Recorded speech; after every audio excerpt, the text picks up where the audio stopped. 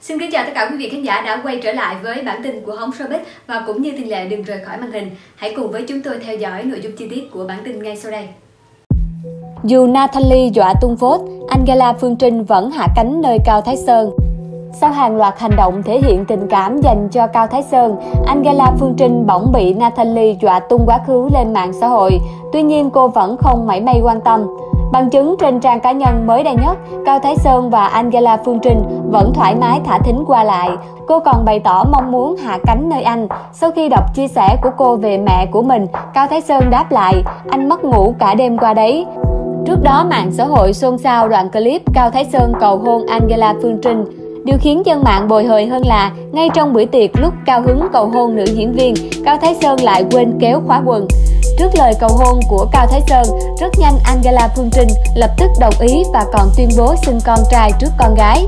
Thậm chí trên trang cá nhân, Angela Phương Trinh còn tuyên bố giờ em đã tìm được tình yêu đích thực thì em có được lấy chồng không cả nhà. Xin phép cộng đồng mạng cho em lấy chồng Cao Thái Sơn. Hành động của Angela Phương Trinh cũng ngay lập tức gây xôn xao bởi cô từng tuyên bố từ bỏ dục vọng nhưng nay lại hứa hẹn chuyện sinh con với Cao Thái Sơn.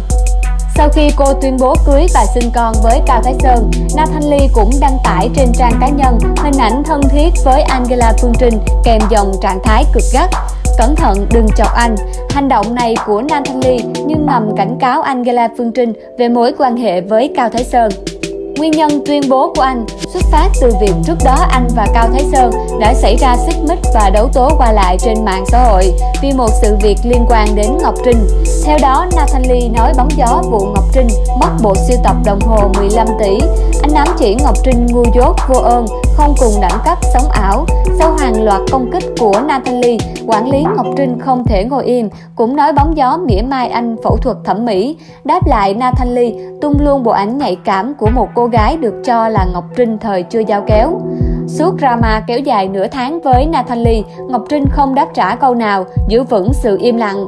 Trước sự tấn công dồn dập của anh, Cao Thái Sơn lên tiếng tên vực Ngọc Trinh. Thế là khẩu chiến Nathalie và Ngọc Trinh chuyển hướng thành Nathalie và Cao Thái Sơn. Kéo theo sự việc là hàng loạt cuộc ồn ào khi cả hai liên tục đấu khẩu mỉa mai nói xấu nhau.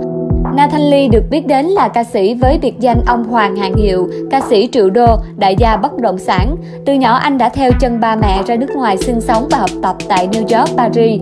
Với chiều cao và ngoại hình nổi bật, năm 17 tuổi Nathan Lee đã trở thành người mẫu và là một trong những gương mặt châu Á sáng giá tại Paris. Na Thanh Ly từng học thanh nhạc 6 năm và còn giành được thành tích đáng nể khi là người châu Á duy nhất lọt vào top 20 của cuộc thi âm nhạc trẻ toàn nước Pháp. Bên cạnh đó, nam ca sĩ còn tham dự nhiều cuộc thi âm nhạc khác và gặt hái được nhiều giải thưởng. Sau này, Na Thanh Ly trở về Việt Nam và theo đuổi đam mê ca hát. Tại đây anh thỏa sức thể hiện giọng ca cũng như sự sáng tạo trong nghệ thuật qua những sáng tác lưu dấu ấn của mình.